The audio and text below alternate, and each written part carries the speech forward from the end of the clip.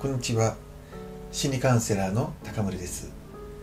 事故を目撃してしまってからパニックになるようになってしまった。というご相談を受けたことがあります。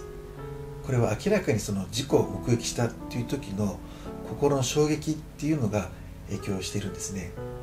こういったものを軽くしていくのではこれはかなり慎重な対応というのが必要とされます。その記憶を不用意に思い出させるっていうのはかえってパニックを増やしてしまうことになりかねません。かといってこのまま放置をするとこれはただ続くだけっていうことになってしまいます。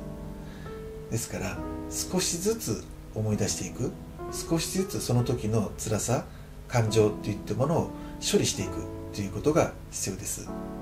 ただこれは自分一人あるいは友人とやるというのはお勧めできません。それはかえって思い出さしすぎてますますきつくなるという可能性が高いからです。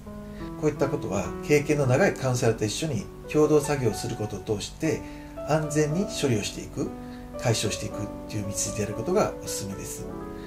もしそれがいきなりはできないということであればまずは短期的には薬の力を使ってそのパニックを抑えるっていうのもいいでしょう。ただそれによって記憶が消えるわけではありませんのでその影響はどうしても残りやすいです。そういった部分にもしっかり向き合っていきたい。安全にやっていきたいということでしたらやはり心の専門家である心理カウンセラーと一緒にそこを取り組んでいくということがいいと思います。以上ご参考になれば幸いです。最後までご覧いただきありがとうございました。